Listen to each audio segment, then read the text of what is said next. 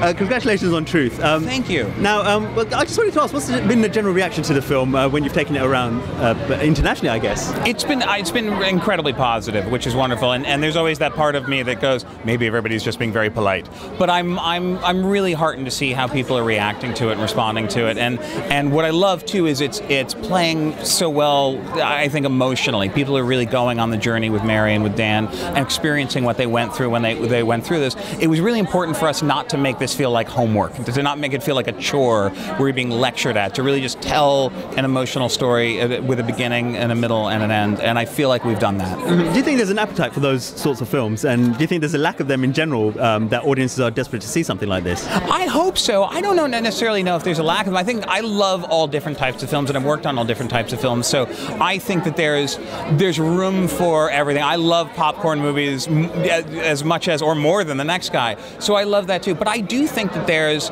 there's a there's a wonderful room for exciting, you know, dramatic, funny adult dramas and and and about about somewhat serious stuff. And and that's what we really tried to achieve with this film. Mm-hmm. I'm wondering. I mean, obviously you've done Amazing Spider-Man. Um, when you're making something like that, when you're writing something like that, are you craving to do something else along the lines of truth, or is it a process where you finish one and then start work on the other?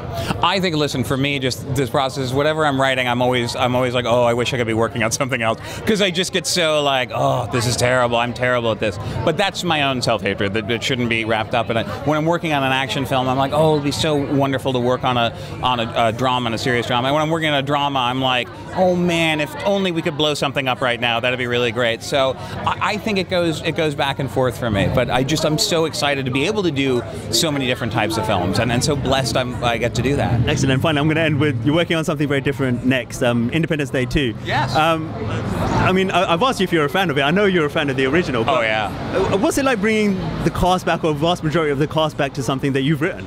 It was uh, amazing. I mean, you know, Roland Emmerich and Dean Devlin wrote the first drafts of the sequel as well, and they and they created the original. And they invited me in to play in their sandbox, which was a, a wonderful, wonderful thing. And I just loved writing for these characters 20 years later. And and that's what's exciting about it too is it, it, it takes place in real time. So it's been 20 years since 1996, since the the aliens first invaded. And I love you'll get to see what they've done with these characters and and how they've matured and how they've kind of come along. And I think there's some great surprises. Obviously, amazing action because it's Roland, and, and I think, you know, with this one, he invented this sort of this. Uh, uh, this blow up the world type of genre, and I think he's looking to close the show with this one. And obviously, 20 years on gives you more play with uh, the technology as well. It means you can probably blow up more stuff and do it in even more style. Well, I don't want to say there are going to be explosions in this film because I don't want to spoil anything for you. But one or two things might get destroyed. Excellent. Well, thank you very much. We look forward to it. Thank you. Good pleasure. Thank you, man. Cheers.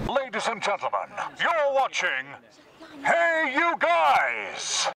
Hey You Guys, huh? Hey You Guys. Is that from the Goonies? It is indeed, yes. Nice. Hey